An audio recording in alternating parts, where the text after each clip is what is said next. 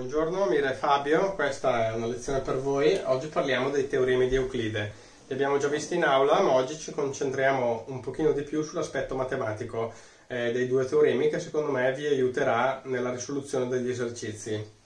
Allora, prima di partire subito con i due teoremi facciamo una premessa, quindi un, un riassunto su quello che dovete già sapere. I teoremi di Euclide parlano di triangoli rettangoli, quindi si applicano solamente ai triangoli rettangoli.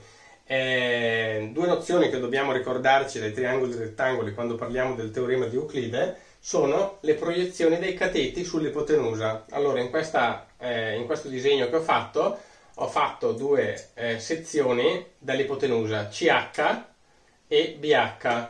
Okay, CH si chiama proiezione del cateto minore sull'ipotenusa, mentre BA proiezione del cateto maggiore sull'ipotenusa, quindi CH relativa a questo cateto e BH relativa a a questo cateto.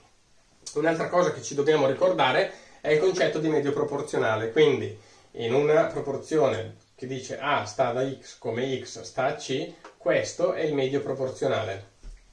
Come facciamo a trovare il medio proporzionale in questa proporzione? Il medio proporzionale è uguale alla radice del prodotto dei due estremi, quindi radice quadrata di A per C. Questa è la formula diretta possiamo applicare la formula inversa se dobbiamo trovare uno dei due estremi, quindi A per esempio sarà uguale a x quadro fratto c, mentre invece se non abbiamo eh, c, eh, per trovarlo faremo x quadro fratto a. Passiamo quindi al primo teorema di Euclide. Il primo teorema di Euclide dice che in un triangolo rettangolo ogni cateto è medio proporzionale fra l'ipotenusa e la proiezione di quel cateto sull'ipotenusa.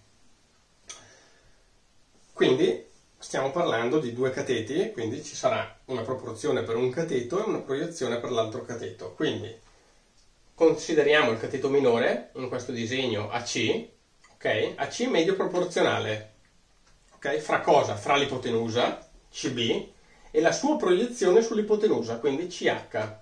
Quindi si legge CB sta da C come AC sta CH. Consideriamo adesso il cateto AB, che è il cateto maggiore anche lui è medio proporzionale. Medio proporzionale fra che cosa? Fra l'ipotenusa e la sua proiezione sull'ipotenusa. La sua proiezione sull'ipotenusa ricordiamo che è BH. Ok? Quindi leggiamo CB sta da B come AB sta a BH. Secondo teorema di Euclide. Il secondo teorema di Euclide lavora sull'altezza relativa all'ipotenusa. L'altezza relativa all'ipotenusa in questo disegno è AH.